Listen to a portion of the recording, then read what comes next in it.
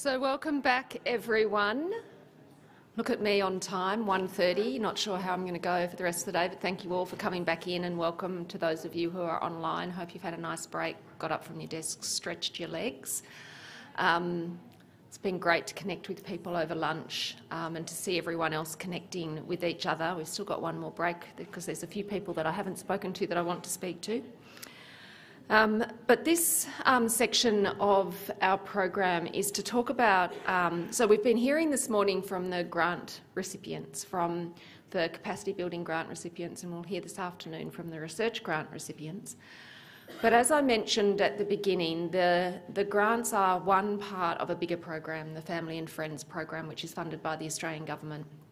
And when we, we talk to service providers and we talk to people who use the services, time and time again we heard um, the, the message that we often find it, we've heard it here today, we often find it challenging to know what measures to collect, to find measures that don't, aren't onerous, um, aren't burdensome, both on the service provider and on the client.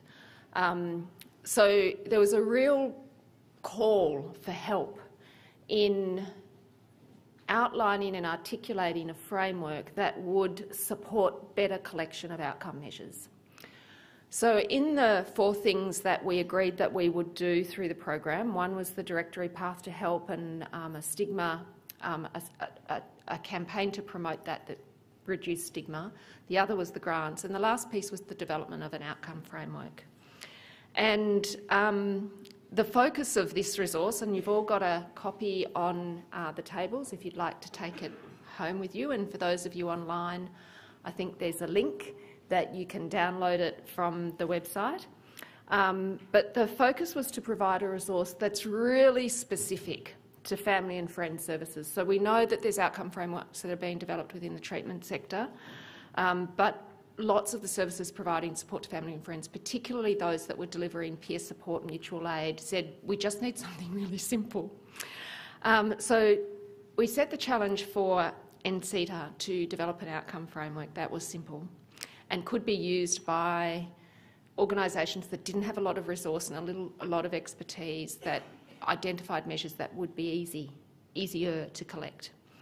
Um, and that process was undertook significant consultation. So there was consultation to understand what was happening, consultation with the sector around what it needed to be in. I think there were 34 organisations that consulted in some way, a draft, and, and then there was more consultation. So the, the outcome is really a framework that's been designed by the sector for the sector. Um, with NCETA leading the way on that. And I'm going to invite Jackie Bowden up to this stage to talk to you about the development process. So Jackie is the, still can I say new, Director of NCETA. Um, and she's going to talk to you about the process of development and how we envisage seeing it being used.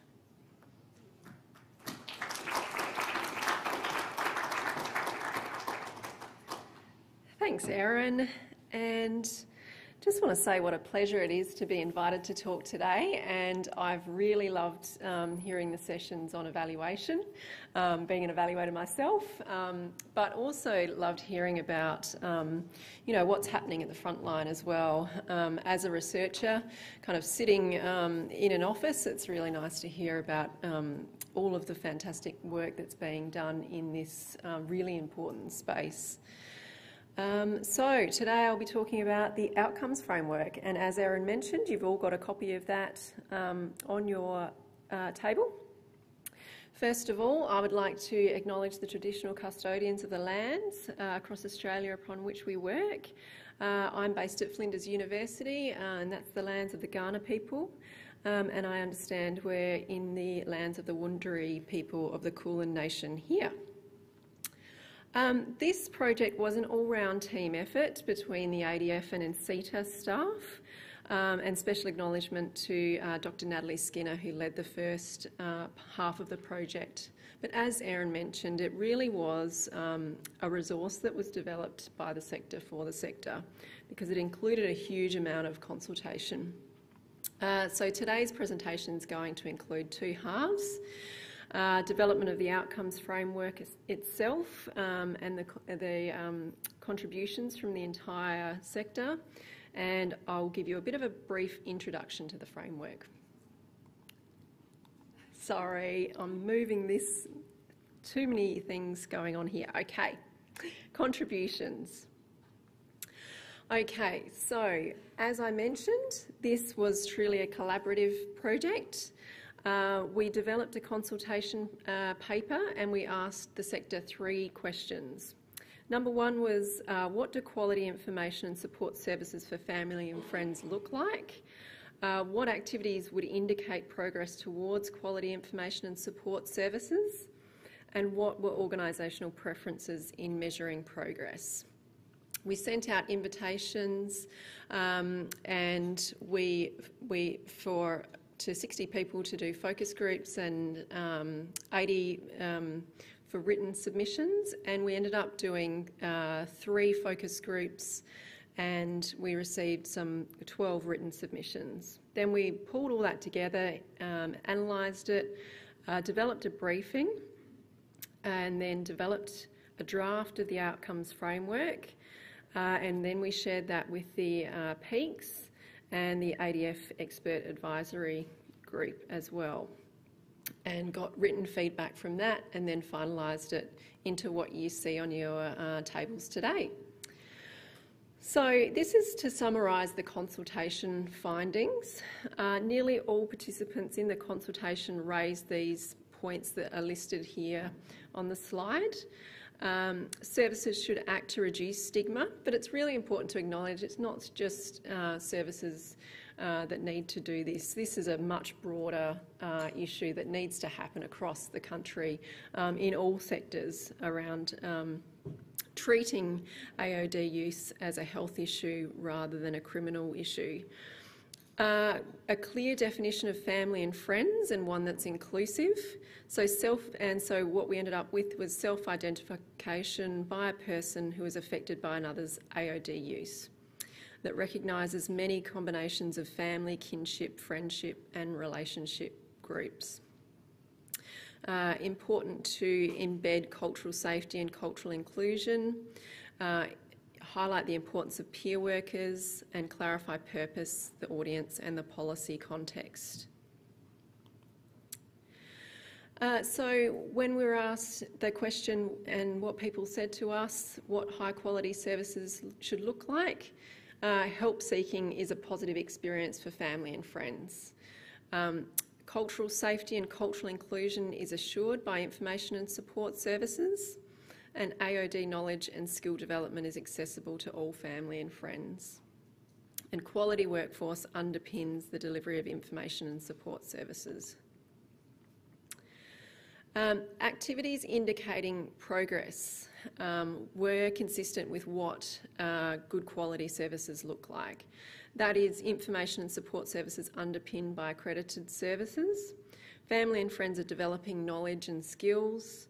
Peer workers are being uh, retained um, and not leaving. Uh, family sensitive practices um, and evidence, and co-design is a norm in the development and evaluation of information and support services. Um, it's important to know that um, this resource is not meant to be prescriptive. It's meant to be, it's designed to be helpful. We encourage a mix of qualitative and quantitative, um, qualitative and that's yep, quantitative methods, and meaningful measures that are meaningful to your services. So the framework itself. Um, it has been um, developed, as I mentioned, by a lot of collaboration. Um, and um, just want to acknowledge as well the AOD sector jurisdictional and, and, national initiatives for progress, quality and standards like the National Quality Framework um, and the work in Queensland led by Beck Lang at QNADA and the work in New South Wales led by Rob Stirling at um, NADA and the work in WA led by Jill Rundle at WANADA. So, uh, the purpose of the framework is to assist organisations to identify and measure impact and quality um, and links with long term outcomes for family and friends. Um, you've heard today that it all takes a lot of time to plan evaluations. And so, what this is designed to be is really an easy tool for you to be able to pick up and use um, and see what sorts of measures are available um, and uh, consider using them. It, and it's all about ongoing continuous improvement. Uh, learning what works and what um, what doesn't work is also really important. And it's really good to hear today a lot of honesty in the room about what has worked and what hasn't worked and reflections.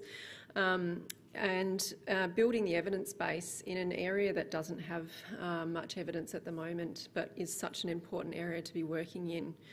Um, and as has been talked about throughout the day as well, um, uh, getting these measures really important for ongoing funding in um, a field that we know is so hard to maintain and retain funding.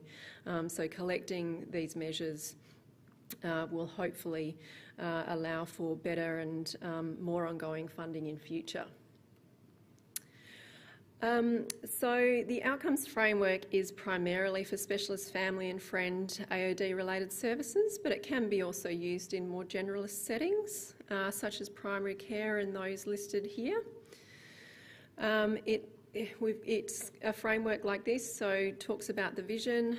So we've got one vision, uh, we've got dimensions, five of them, uh, five outcomes, 14 indicators, um, options of measures, um, and then a section about uh, reflection.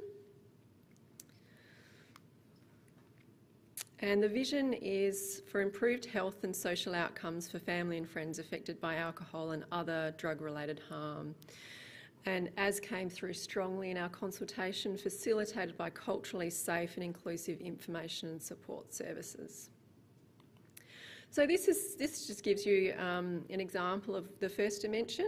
So that's related to stigma. Um, and an outcome that reflects that. So, family and friends feel comfortable seeking help and from a reliable source as well. Um, and I'll talk about the dimensions within each afterwards. Um, this one is the second dimension, and it's about increasing awareness of available information and support services. The third dimension is about skill acquisition for well-being and coping and quality of life. Uh, the fourth is about uh, accessibility for services for family and friends. And the final is about uh, quality improvement. So just for an example, um, here is the indicator that's about help seeking or early help seeking and a possible measure is um, just asking um, family and friends about the reasons for help seeking. Here, the indicator is positive experiences uh, with delivered services, and a possible measure um, that could be administered is the client satisfaction questionnaire to family and friends. Uh, the indicator here is accreditation and a possible measure being evidence of accreditation on organisational facilities and resources. Um, as I said again, we don't want it to be prescriptive. It really is a starting point uh, for routine data collection. Um, and you know, after today's session, I can see that a lot, most people are doing evaluation, um, and so hopefully this resource will help you to you know continue on with your evaluations going forward, uh, provide more measures that you might be able to use uh, to help build that limited body of evidence that we currently have um, and to learn um, what works and what doesn't work going forward. Um, also encourages reflective practice um, is the last dimension and um, things like has the information and support services contributed to change as expected, who has benefited for the program, uh, how and under what sorts of circumstances did they benefit. Um, so there's a digital version here online um, with this link. And the contact details are, and I should have mentioned, Dr. Jane Fischer was supposed to be presenting today, but she fell unwell at the last minute. Um, so you've got, you had me, um, and uh, would like to acknowledge her for her hard work in pulling this presentation together. Um, and wish her well. She's um, on the ro- road to recovery, and also um, acknowledge the ADF team, um, particularly Shayla, uh, for all your hard work pulling it together as well. So thank you.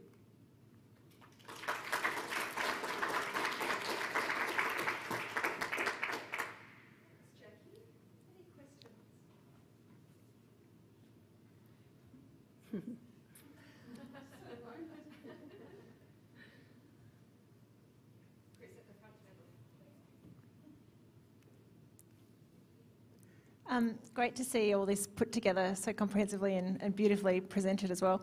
Um, I just had a question because what came up earlier in the morning session was that a lot of organisations, I think um, Haley mentioned this too, um, were interested in, um, the family and friends were interested in better relationships with their person who who's an AOD user. And um, I just wondered if that was considered or if there was a reason not to include it or. Um, I actually don't think it, uh, you know, I was reading through our consultation feedback and I don't think it came through. Um, so it was, yeah, something that um, I actually think this might need to be a bit of an evolving process. And once people start using it, we'd be encouraging feedback um, on that. Yeah, because I think, you know, over time as we learn more and more and we start to see, you know, and hear the anecdotes from people, um, that's when we'll start to understand, you know, look, it's improving these things or this is what people want out of it. Um, and yeah, I think we might need to be making some tweaks going forward. Yeah. But today's been really helpful for that, so I've taken some notes.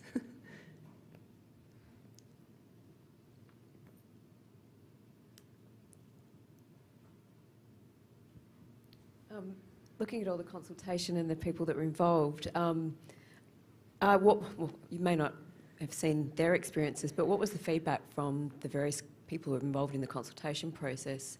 Yep. Um, and did they find that collaboration to be quite useful in, obviously you had that final feedback loop.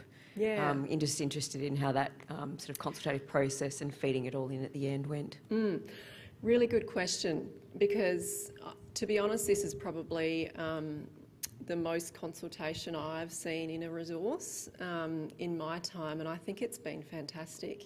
I think initially there was um, some concern that it might be a you know really prescriptive uh, document that made everyone collect the same measures and um, so there was concern around that. And I think um, you know hearing that and making sure that we were acknowledging that throughout um, was really useful. Um, to the point where I think when we got to the last draft everyone was really supportive and thought it was great. Um, broadly, it had a few tweaks here and there, but um, yeah, we did really work hard as well to make it as simple as we could. Um, so spent a lot of time kind of back and forth um, in the team about that. Um, often it's harder to make things simple uh, than it is to make them more complicated. Uh, but I think the process of consultation was just excellent and, and hopefully it will make um, increase the uptake and use of it as well. Hmm.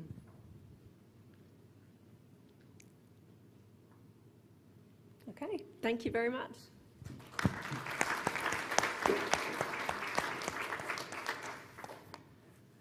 Thanks, Jackie. So this morning I banged on about implementation. So thinking about the next steps, lots of people have said, what now for the outcome framework? And um, it's been great to hear in the panels and the presenters this morning this thinking around how do we embed outcome measurement into our everyday. And uh, we will be in touch to see whether there are some measures in here that make sense for you to try and embed into your everyday, and then to understand what's going to help implement it. Um, what are the barriers to implementing it? Is it simply time? If it's time, what can we do about that? If it's other things, what can we do to, to facilitate the use of this um, tool? So we will be connecting with people here and people outside of this room as well around sort of picking it up and giving it a go and seeing what your experience is and what that means for our improvement of the outcomes framework.